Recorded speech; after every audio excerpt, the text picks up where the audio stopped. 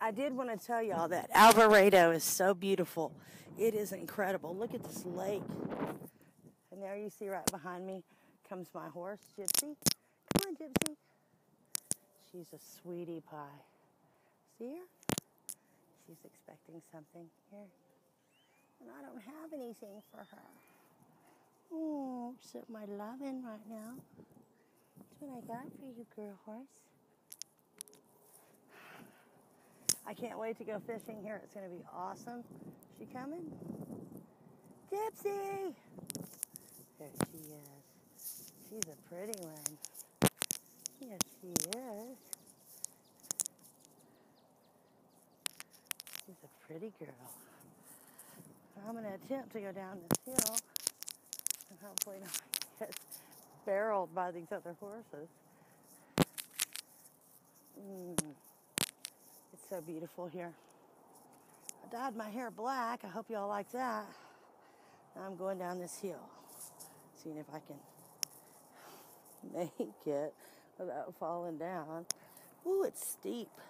See that? See if they go down. Nope, they're all up there. Ooh.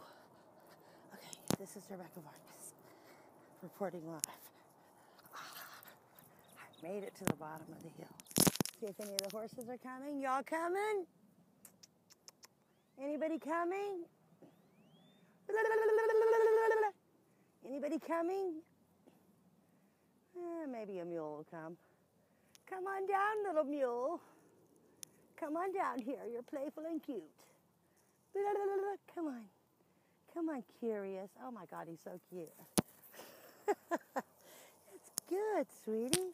That was good. Was good. This is Rebecca Vargas, and I'm in Alvarado, Texas. It's one of the best places I've ever been. I may just be calling it home before you know it. Look at how sweet this animal is. Look at its beautiful markings. It's like something out of Africa. It's beautiful. Anyway, we'll get back with you as soon as possible. Y'all have a blessed day and know, know that I am.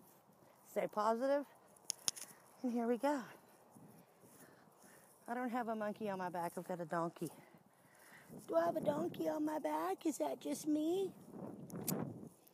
okay, bye bye.